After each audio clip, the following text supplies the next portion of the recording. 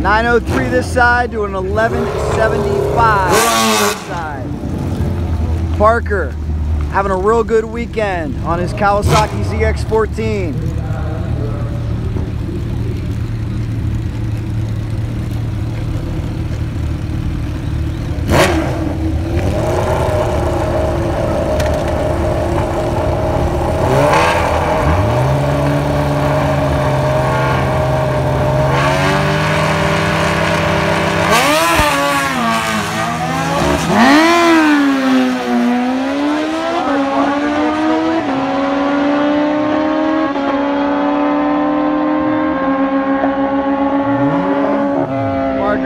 the next round.